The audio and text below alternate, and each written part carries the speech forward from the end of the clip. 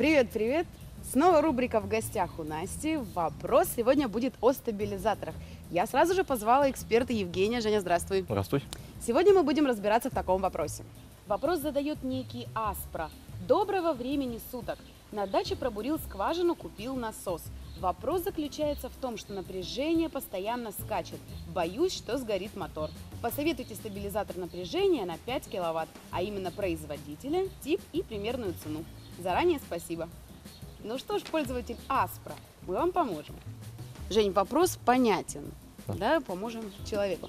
Значит, э, сегодня мы представляем стабилизатор Luxion модели FDR 5000. Это релейный стабилизатор.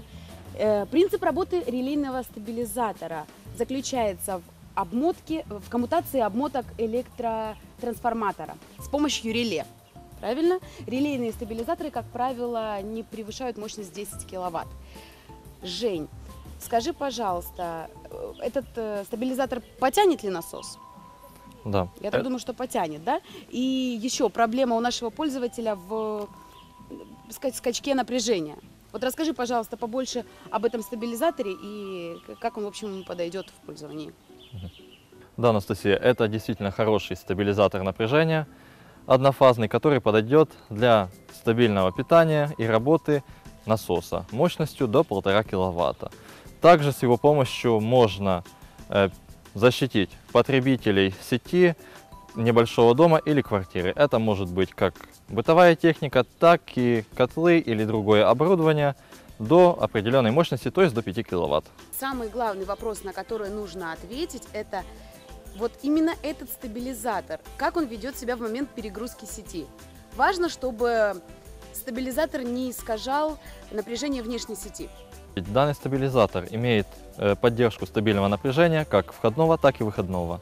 Э, Также э, разъемные клеммы сделаны из серебра, что предотвращает залипание электрических проводов в сети.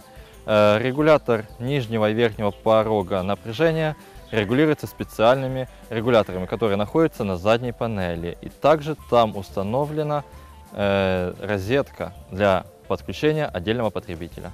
Давайте же посмотрим, что находится на передней панели. Значит, э, здесь цифровой дисплей. Кнопочка включения-выключения. Кнопочка режим дисплея. Вы можете регулировать показатели, да? Да. То, что отображается на цифровом дисплее. Дальше кнопка задержка. Задержка включения либо выключения стабилизатора. Три индикатора. Режим работы, перегрев и работа. Э, Кстати, задержать включение и выключение стабилизатора вы можете от 6 секунд до 2 минут. Хорошо, Жень, что находится на задней панели? На задней панели посложнее, расскажи ты. Значит, на задней панели представлены регулятор напряжения нижнего э, диапазона и верхнего. Также здесь имеются клеммы для входа и выхода напряжения самого. Э, удобные подсоединения заземления стабилизатора. Также стандартная розетка для подключения отдельного потребителя. Значит, мы с Анастасией рекомендуем этот стабилизатор напряжения для насосов мощностью до 1,5 киловатта, а также другой бытовой техники, например, стиральные машины, холодильники и прочие потребители энерго... энер- Энергопотребители. Да, энергопотребители. В общем, покупайте стабилизатор Люксион. Кстати, вбейте в интернете. Люксион это очень хорошая фирма. Уже давно себя зарекомендовали.